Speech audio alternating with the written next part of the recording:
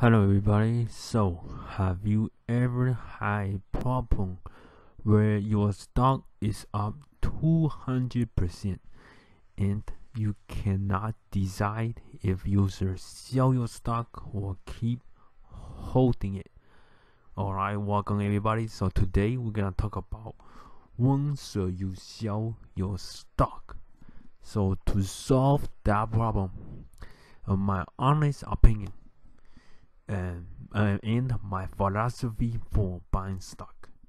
The only reason you should sell the stock is you find a better stock than your current stock. So if your stock is already up 200%, and if you can find better stock that can go up another 100%, you, you can sell your current position but if you cannot find a better stock than your current position, I think you should still hold it. So, my advice are not financial advice. Everything I said or do have risk. So please do your own research. so I gotta give you some examples. So for example, I used to, used to hold a stock called SE. The ticker symbol is SE. The name is Sea S E A. And when I was holding the stock, it was already up 400%. Then on March, you know, the stock market uh, on March 2020, uh, the stock market dropped really bad so every stock is dropping and and I see a lot of good deals out there. But SE's uh, stock did not drop. It did not have much effect on the stock because of the pandemic and everybody had to stay home.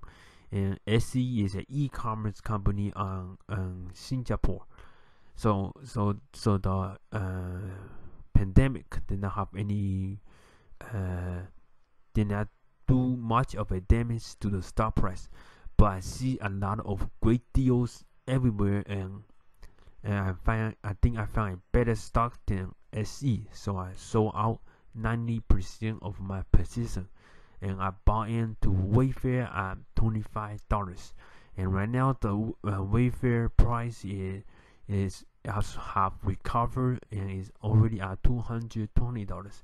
So I almost almost made eight times my money. So Wayfair balancing is uh, just as good as SE and then the growth is just as good.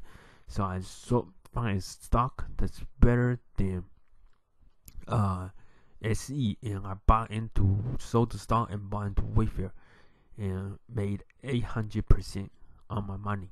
So that's how I look at it.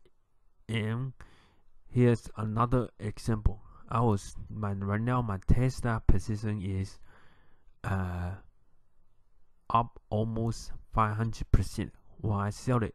No, because I haven't find stock that's better than Tesla. And when I sell Tesla is is probably uh, or it might be like next month if I find a stock that's better than Tesla, just have more growth than Tesla, have better product line than Tesla, have better balance sheet than Tesla, have better CEO than Tesla, which is not possible. I haven't found anything. If next month I find stock that's better than Tesla, I will sell it. Or next year, or 10 years down the line. As long as I did not find stock that's better than Tesla, I will not sell the stock uh, on Tesla.